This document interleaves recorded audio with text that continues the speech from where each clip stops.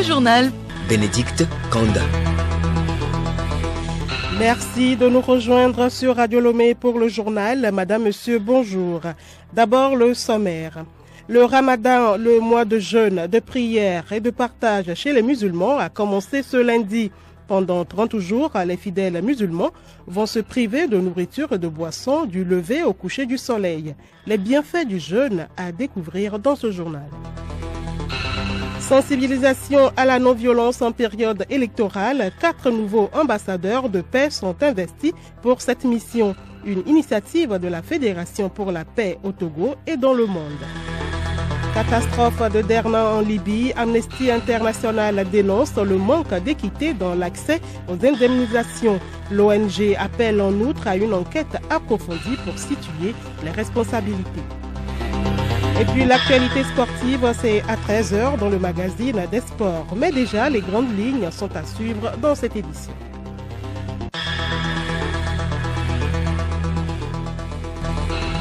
radiolomé.tg Lundi 11 mars 2024, les fidèles musulmans observent à partir d'aujourd'hui un des piliers de l'islam, le jeûne de Ramadan. Durant 30 jours, les fidèles musulmans vont se priver de nourriture et de boissons pendant la journée.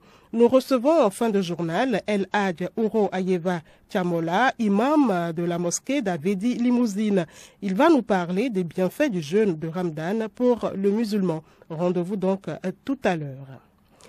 L'ONG Action d'aide sociale pour le développement a organisé une prière islamique pour les élections législatives et régionales apaisées. Cette séance de prière s'est tenue vendredi dernier sur l'esplanade de la mosquée centrale de Vacosito dans la commune d'Agüenive 3 la paix, le vivre ensemble et la cohésion sociale avant, pendant et après les élections pour un développement durable au Togo. C'est le thème de cette rencontre. Les autorités religieuses et administratives de la localité y étaient. Les femmes de la dite commune ont reçu de la part de l'ONG des lots de pagnes spécialisés pour la journée de 8 mars. Nyache Kojo, directeur exécutif de l'ASD Togo organiser cette prière de remise de pagnes à nos mamans pour euh, leur féliciter. Maintenant, cette prière a pour objectif d'inviter nos compatriotes euh, à prôner des comportements avant, pendant et après les élections. La vie continue. S'il faut que la vie continue, il faut que les élections se passent dans des conditions beaucoup plus paisibles et harmonisées. Et justement, concernant les élections, quatre nouveaux ambassadeurs de paix ont été investis hier à Lomé par la Fédération pour la paix au Togo et dans le monde. Plusieurs missions les attendent. Hervé Segbonou. La principale mission pour ces nouveaux récipiendaires est de sensibiliser la population sur la non-violence, surtout en période électorale. Amouzou Tete Antonio, porte-parole des quatre ambassadeurs de paix. Sans la paix, rien n'est possible. Sans la paix, il n'y a pas de développement. La paix a plusieurs significations. Il y a la cohésion sociale, le vivre ensemble dont nous avons besoin pour bâtir notre cité. Donc aujourd'hui, je peux dire que j'ai changé de couleur. Je suis devenu ambassadeur et je pense que avec ça, je peux, à partir de cet instant, être parmi les artisans de paix. Les ambassadeurs de paix, lors de leur mission, doivent respecter cinq principes, dont la connaissance de l'existence de Dieu. Togbui Konu Abalo, Nukafu 3, président de la Fédération pour la paix au Togo et dans le monde, FPTM. Pour être ambassadeur de paix, il faut connaître Dieu. Il faut savoir que Dieu existe. Si tu ne sais pas que Dieu existe, tu ne peux pas pardonner. C'est la base de la connaissance de Dieu que tu peux pardonner. Donc tout s'assoit sur la connaissance de Dieu qui permet de pardonner, de nous réconcilier, de vivre ensemble. Cette cérémonie d'investiture est placée sous le thème Bâtir la paix. Hervé Segbonou, l'école primaire publique de Djabdaour et le collège de Bobana ont bénéficié vendredi dernier à Tondjouaré de Tobleban de la part du personnel féminin de l'Agence nationale pour l'emploi ANPE. Le don s'inscrit dans l'optique de la célébration de la journée des droits de la femme. Il apporte du soutien aux couches vulnérables de la région des savanes. Angèle Untonji. Au total, 152 tables bancs ont été remises. Pour Abravi Adjo, porte-parole des femmes de l'ANPE, ce don vient surtout accompagner les actions du chef de l'État dans sa politique de l'inclusion sociale. En effet, la feuille de route gouvernementale 2025 place l'éducation au cœur de ses priorités, notamment à travers le projet P9 qui vise à augmenter les capacités d'accueil des établissements scolaires et à améliorer les conditions d'études afin de répondre aux besoins d'une éducation de qualité pour tous. Ces tables bancs offertes vont désormais améliorer les conditions de travail des apprenants et des enseignants, estime Pabi Kouchaoun, représentant du directeur régional de l'éducation des RE, région des Savanes. Nous avons un problème de bancs, problème de bâtiments scolaires. Nous avons des effectifs pléthoriques dans les écoles.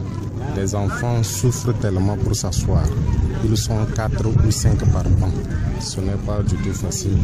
Je pense que vient à point nommé pour mettre à l'aise les parents, les enseignants et les élèves eux-mêmes. Ce journal se poursuit avec un sujet femme. Les femmes sont de plus en plus nombreuses dans le secteur bancaire. À l'occasion de la Journée internationale des droits de la femme, Radio Lomé fait un zoom sur Madame Sosuga Agnès, membre du réseau UMECTO, directrice de la mutuelle Neva Aimé Alomé et Rebecca Kogomna Kilim Poyode. Âgée d'une soixantaine, teint clair, taille moyenne et svelte, Madame Sosuga Agnès est diplômée en comptabilité. Elle dirige sa structure bancaire depuis des années. Pour y arriver, Madame Sosuga a traversé des étapes. Je dirais que c'est la grâce de Dieu qui m'a conduit à être engagée dans cette mutuelle comme agent premièrement. Et c'est au fil des années que j'ai été promue à d'autres postes de responsabilité avant d'être à la direction de la mutuelle. Quand je déposais ma demande d'emploi, je n'y ai pas pensé. Pour moi, c'était une demande d'emploi. Et puis, je postulais à un poste chargé de crédit. Et c'était mon ambition. Dieu m'a exaucé pour que on m'accepte dans la mutuelle. Mais ces chemins faisant, avec les évaluations, qu'on m'a confié d'autres tâches jusqu'à ce que aujourd'hui je sois à la direction. Deux défis à relever selon Madame Sosuga. Il s'agit de garder la réputation de la femme comme une bonne gestionnaire et assurer ses engagements familiaux et professionnels. Premièrement, la reconnaissance de ses capacités et la confiance en ses aptitudes. À nos sœurs, c'est de les encourager à entreprendre des activités ce n'est pas forcément être embauché dans une entreprise, mais on peut avoir des initiatives personnelles, mais être utile à la société. Si je suis femme au foyer et que je dois aller travailler, faut pas que mon engagement de foyer me pousse à ne pas répondre comme il faut dans mon engagement professionnel ou dans mes initiatives privées.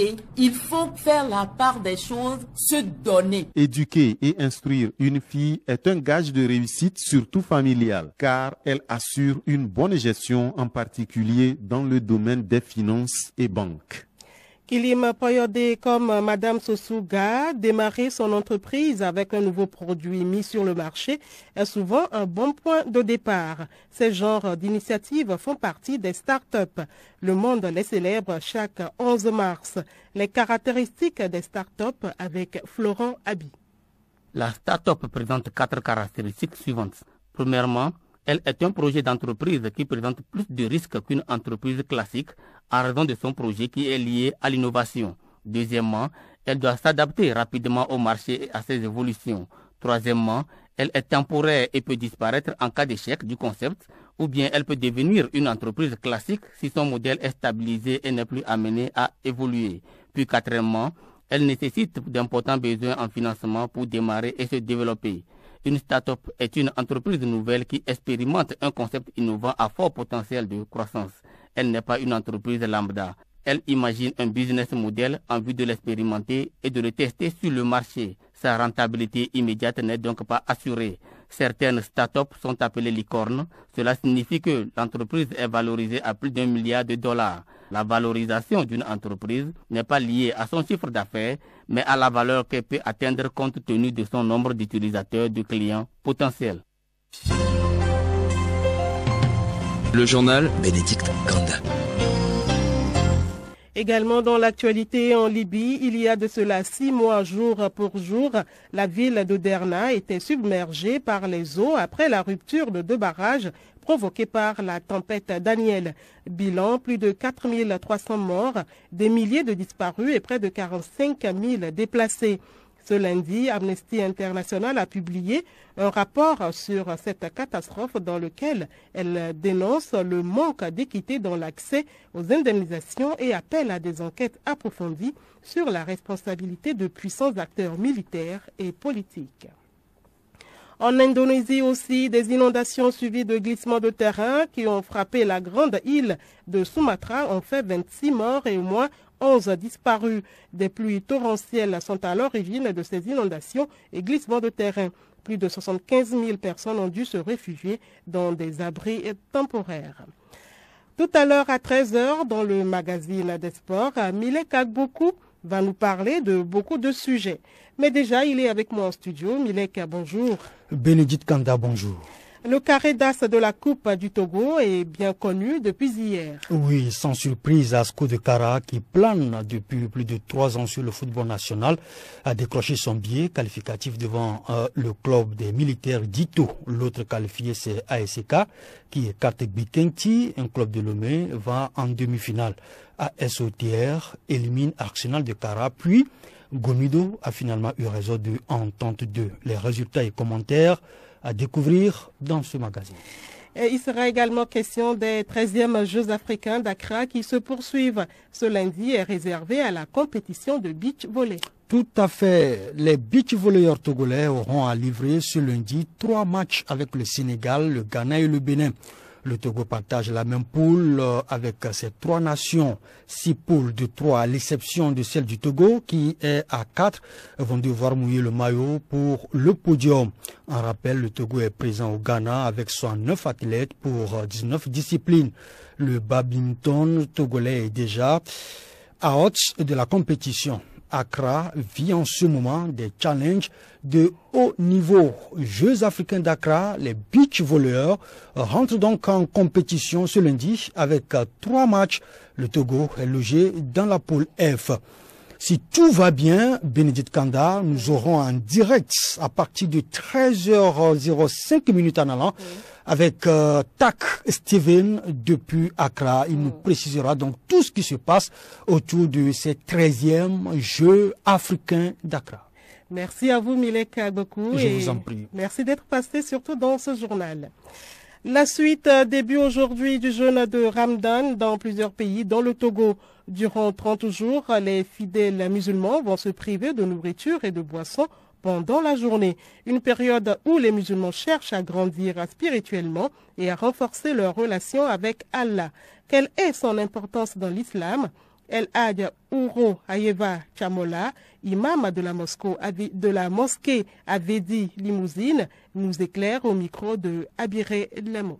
El Hadj Ouro Ayeva Chamola, bonjour. Bonjour madame. Le jeûne du mois de Ramadan a démarré ce lundi. Dites-nous au premier abord ce que c'est que le Ramadan. Quand on dit Ramadan, c'est le nom du neuvième mois du calendrier islamique. Tout comme on dit janvier, février, mars. C'est un des piliers de l'islam. La spécificité de ce mois, c'est que les musulmans observent le jeûne que nous appelons en arabe Saum ou bien Asuyam s'effectue pendant 29 jours ou 30 jours selon l'évolution du croissant lunaire. Le ramadan, vous l'avez dit, c'est un des piliers de l'islam, notamment le troisième. Quels sont les bienfaits du, jeûne du mois de ramadan pour euh, un fidèle musulman? Le mois de Ramadan, c'est un mois de pardon. Le musulman attend à ce que Dieu lui pardonne ses péchés. C'est un mois de générosité, de partage. Pendant le mois de Ramadan également, on nous apprend que les portes du paradis s'ouvrent et les portes de l'enfer se ferment. Et maintenant, on, on attache les démons. On dit souvent que pendant le mois de Ramadan, il y a certaines choses qu'il faut éviter. Vous confirmez? Si, bien sûr, bien sûr. Quelles sont ces choses alors? Ces interdictions, bien qu'étant encore renforcées dans le mois de Ramadan, sont aussi interdites dans d'autres mois. Quand je jeûne, je ne mange pas, je ne bois pas. Pour beaucoup de personnes, c'est comme le jeûne s'arrête à ce niveau. Non, mais aussi les organes, les sens là doivent aussi jeûner. Mais regarde, l'écoute, le parler, le toucher, le vol, les rêveries, les moqueries, le mensonge. Alors qu'en est-il des rapports euh, sexuels dans le couple? Bien sûr, ça encore, c'est gravissime. Les rapports sexuels, même dans le couple, comme vous l'avez dit, on ne va pas parler des jeunes garçons qui ne sont pas mariés. À partir du matin, déjà à 5 heures jusqu'à 18 heures, vous ne devrez pas toucher intimement, mais les nuits sont permises. Alors dites-nous, El Hadj, quelle est la place de la fête de Ramadan en, islam? La fête de Ramadan, euh, c'est pour permettre aux musulmans de se réjouir du jeûne qu'ils venaient d'accomplir, de se rendre très solidaires les uns vis-à-vis des autres. Ceux qui ont un peu sous la main doivent reverser à ceux qui n'en ont pas. Et je prélève au nom de tous les membres de ma famille. Et je remets dans le quartier un homme que je juge indigent Quelqu'un qui n'a pas observé le jeûne du mois de Ramadan peut-il euh, célébrer la fête du Ramadan? Proprement. Peut-être qu'il est malade, qui n'a pas pu jeûner, mais le jour de la fête, la personne peut se déplacer pour la prière. Quel conseil vous avez à donner donc euh, aux fidèles musulmans en ce mois de Ramadan? Ramadan, c'est un étranger qui vient avec euh, ses bagages. Quand il vient chez moi à la maison, je dois bien l'accueillir. Si le lendemain, l'étranger veut repartir, il va me laisser ses cadeaux. Maintenant, quand l'accueil que je lui réserve est malheureux, il repart avec ses cadeaux. El Hadj Ouro Aïva Chamola, merci. Nous vous souhaitons un très bon moment de jeûne. Merci beaucoup. Que Dieu vous bénisse. Et pour clôturer cette édition, l'information insolite, un homme a bien malgré lui créé la panique dans un commissariat en France. Lors d'un déménagement, il a trouvé une grenade militaire dans un carton. Pensant agir dans les règles, il a ramené l'engin explosif au commissariat. Une fois sur place, la situation se complique. Les policiers ne sont pas complètement ravis d'hériter de ce cadeau empoisonné. Par précaution, pour prévenir les risques d'explosion, un dispositif de sécurité est immédiatement dressé. Le commissariat a dû être évacué dans l'attente de l'intervention des services de déminage. Heureusement, les grenades ont été détruites. Occasion de rappeler que ces engins sont dangereux même après plusieurs décennies et peuvent exploser à tout moment. Donc, euh, il est impératif de ne pas y toucher.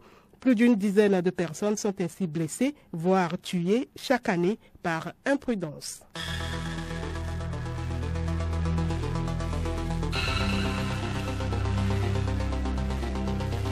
Madame, Monsieur, voilà, c'est la fin de ce journal. Merci de l'avoir écouté. L'essentiel à retenir, euh, le Ramadan, le mois de jeûne, de prière et de partage chez les musulmans, a commencé ce lundi. Pendant 30 jours, les fidèles musulmans vont se priver de nourriture et de boissons du lever au coucher du soleil. Sensibilisation à la non-violence en période électorale, quatre nouveaux ambassadeurs de paix sont investis pour cette mission, une initiative de la Fédération pour la paix au Togo et dans le monde. Et puis, catastrophe de Derna en Libye, Amnesty International dénonce le manque d'équité dans l'accès aux indemnisations. L'ONG appelle en outre à une enquête approfondie pour situer les responsabilités. Excellent après-midi à vous à l'écoute de Radio